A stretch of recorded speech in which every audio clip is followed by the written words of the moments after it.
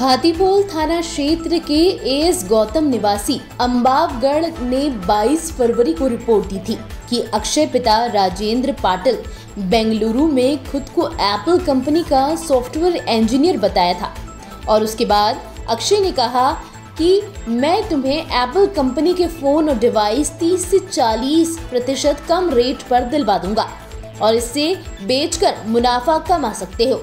गौतम, जो पेशे से डॉक्टर है, अक्षय की बातों में आ गए और टुकड़ों टुकड़ों में उन्होंने अमित को एक करोड़ छिहत्तर लाख रुपए अक्षय के खाते में ट्रांसफ़र कर दिए।